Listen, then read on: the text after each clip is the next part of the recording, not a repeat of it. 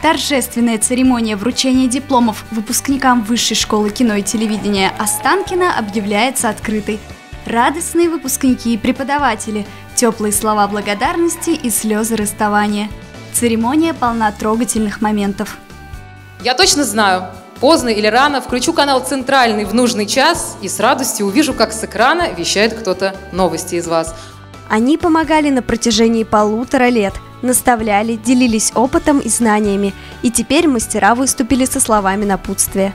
Вот начало положено, вы научились, основы вы узнали, и я не сомневаюсь, у вас все получится. Выпускники тоже не молчали. Некоторые группы выразили благодарность песней, видеороликам, а кто-то простыми словами. Главное от всего сердца. Спасибо вам огромное за это очень интересное, увлекательное путешествие, которое будет продолжаться. Спасибо. Как нам удалось узнать, выпускники Высшей школы Останкина не всегда мечтали покорить телевидение. Кто бы мог подумать, но в одном зале собрались люди совершенно разных профессий. Я была инженером-экологом.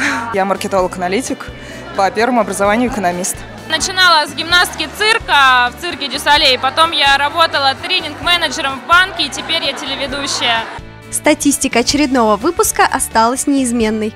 Девушки на курсе телеведущих в большинстве – и это не случайно, убежден мастер кинооператорского факультета МИТРа Дмитрий Мишин. Они, ну, как правило, намного креативнее, чем мужчины, поэтому а, они успешнее явно.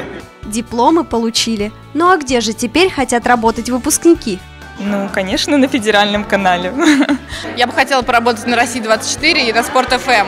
Ну, для начала пятница, путешествовать хочется. Один вечер, чтобы отпраздновать и расслабиться.